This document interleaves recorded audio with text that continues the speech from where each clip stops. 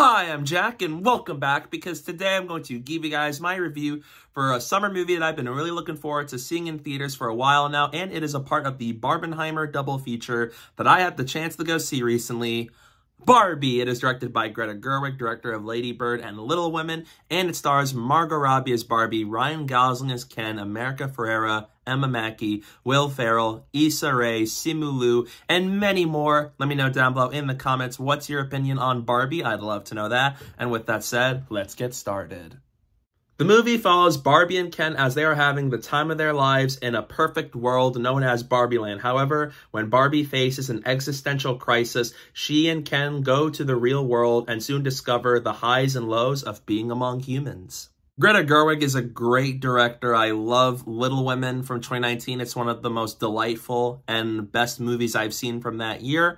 And for a while, I've been curious to see what she was going to have in store with the Barbie movie. Adding to that, I love Margot Robbie. She's one of my favorite actresses right now, especially with her amazing performance in Babylon last year.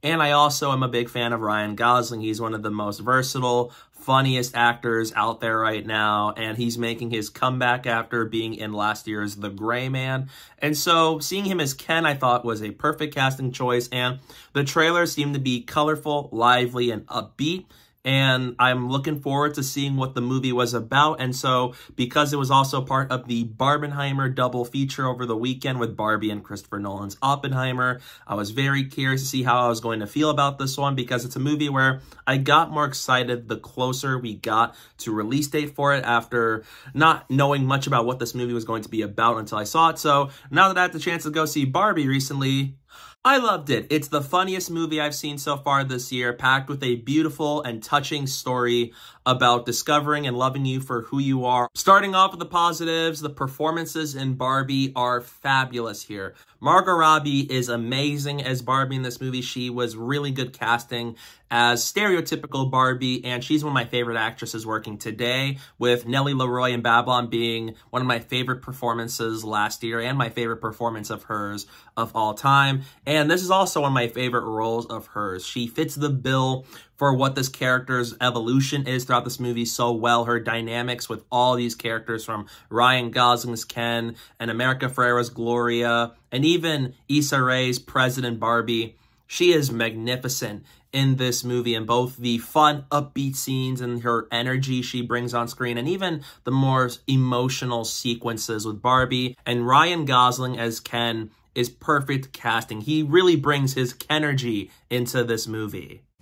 It was perfect. Perfect. Everything, down to the last minute details. He's one of my favorite actors working today. I love him in comedies. Dramas and thrillers, and this is one of my favorite roles he has ever portrayed. His dynamic with Margot's Barbie is fantastic, so fun to watch on screen, and I even love the way he works alongside the other Kens in this movie, and his story is very good here, and I love how it plays out, and even goes in directions that I wasn't even anticipating. And even that whole segment of the movie, and even his amazing musical number of I'm Just Ken. I'm just blew me away. It is exciting and it's incredible. And then the rest of the cast members here, America Ferrera, she is really good as Gloria, especially having a really important part of the movie. When we see the real world, I love her scenes with Barbie. And so as the character growth she goes on, Will Ferrell is funny as the CEO of Mattel. And even the supporting cast members like Simu Liu as Ken and Kingsley Ben-Adir as Ken and Issa Rae is President Barbie. Emma Kate McKinnon is funny as Weird Barbie. Emma Mackey is Barbie.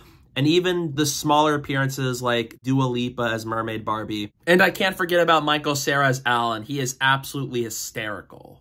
Everybody is just really good in this movie from the supporting cast members to the main stars of the movie. The production design in this movie is incredible. The way Greta Gerwig brings Barbie Land to life is marvelous. It really feels like we are transported into a fantasy world where it's perfect, it's lively, it's colorful, it's fun, and it is just so cool how it's all brought to life. And apparently there was a international shortage of pink paint because so much of it was used for Barbie Land in this movie, and I can see why. It is beautiful on screen and how it's brought to life is amazing. And the visual style of Barbie is also really good and unique amongst movies this year and still retains a lot of the stuff I love from Greta Gerwig's other movies like Little Women from 2019 and even how it visualizes the real world in opposition of Barbie Land, I thought was really creative, with Barbie Land being this perfect utopia that's fun, colorful, exciting, and everybody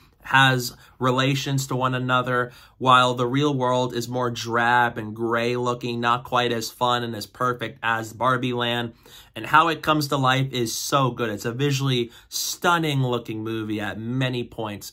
And Another thing I really like too is it is so funny. This is the funniest movie I have seen all year with the perfect line deliveries from a lot of these cast members, especially Ryan Gosling, Kate McKinnon, Margot Robbie, and even Kingsley Ben-Adir. It's just so funny. I laughed a lot at points in this movie, and a lot of it was from Ken, who has one of my favorite segments of the movie and just with what all these characters go through. It is a really funny movie that's really well written from Greta Gerwig and Noah Baumbach. And so is bringing the world of Barbie to life so well while doing a lot of subversive things that we don't tend to expect from Barbie. And this movie serves as a satire of a lot of different things we face in the real world. And so as in this movie, like the patriarchy and how it's bad for women, but it's also bad for the men too and so as gender roles of challenging what people usually expect in society when, it comes to the roles of genders in society. I thought that was really clever with how it plays out, even in Barbie Land and even in the real world with the CEO of Mattel and that part of the story. And even with how it handles the storylines of Barbie and Ken, which went in directions I did not anticipate them even going into when I watched this movie. And I like that it was subversive, but in a good manner where it takes a lot of the stuff we tend to know about Barbie, that it's always Barbie and Ken together, especially different iterations of them. And this movie turns it on its head that both of these characters are their own people and so it's having really universal messages about loving yourself. And even if you face a lot of hate and dislike in the world, that as long as you trust and believe in yourself, everything's okay and that you are beautiful inside and out. And this movie has so many heartwarming messages here that even when it's so funny and so upbeat and colorful, it has a really strong emotional core and messages that it really comes out as a really unique movie that's based off of an IP like Barbie, especially on a big scale like this. And not everybody's going to respond positively to this, but I thought it worked marvelously. The pacing is great. The story is amazing. The musical numbers here are incredible, especially Dance the Night by Dua Lipa and I'm Just Ken by Ryan Gosling, which is one of my favorite movie scenes of the year. And then I also really like the way it ends the story with all these characters and it feels like a nice natural ending to a lot of the things and story arcs of all these characters that I was really happy with the way this movie reached an ending considering how the story played out and I thought it was done really well. It's well written, it's well acted, it's well made, and being a bigger movie from Greta Gerwig's filmography, it still retains a lot of the stuff I love about her as a director, that I was still very satisfied with what Greta Gerwig was able to do with a movie like this. I have a few minor issues with Barbie. The first thing that comes to mind is Gloria's daughter Sasha starts out in one place personality-wise, but then by the end, she feels like a completely different person, and it feels like we never really see much change really happen to her character to reach that conclusion. And then the other issue I have with the movie is that as much as I like Will Ferrell and seeing him as the CEO of Mattel, it feels like after the middle of the movie, his character is just there story-wise. It feels like there's not much of a reason for him to still be here, and by that point, his character feels like an afterthought. And those are two things that come to mind in terms of story issues with the movie. And I feel like for the most part, a lot of the characters are done really well, but there are a few people in this movie that I think could have been handled a little bit better. In conclusion, I loved Barbie. By far the funniest movie of the year. Love the performances, especially from Margot Robbie and Ryan Gosling. Marvelously directed by Greta Gerwig. That's really well written, extremely funny, and really well paced. That has a lot of really universally good messages that I thought were done really well, and I was really satisfied with Barbie as a whole. So in the end, I'm going to give Barbie an A.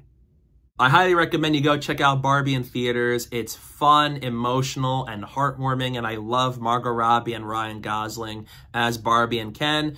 And it's really well directed by Greta Gerwig. And for a movie of this scale, she definitely shows that she can handle doing bigger movies, especially after doing smaller stuff like Little Women and Lady Bird. So I highly recommend you go see this in theaters while you can, especially during the summer, as we are in the era of Barbenheimer. So yeah, that's my review for Barbie. What are your thoughts on the movie? Let me know down below in the comment section. I'd love to know your thoughts on it. Stay tuned for some upcoming videos I have planned very soon. I'm going to have a review for Oppenheimer, which is a movie that I'm so excited to talk to you all about, and I cannot wait to give you guys a video for this soon. So stay tuned for all that fun stuff coming your way, and don't forget to follow me on social media. My username is down below at the bottom of the screen and at the description below, so please go do that while you're at it. And thank you guys so much for watching, and don't forget to hit that like button and the subscribe button, and stay tuned for more.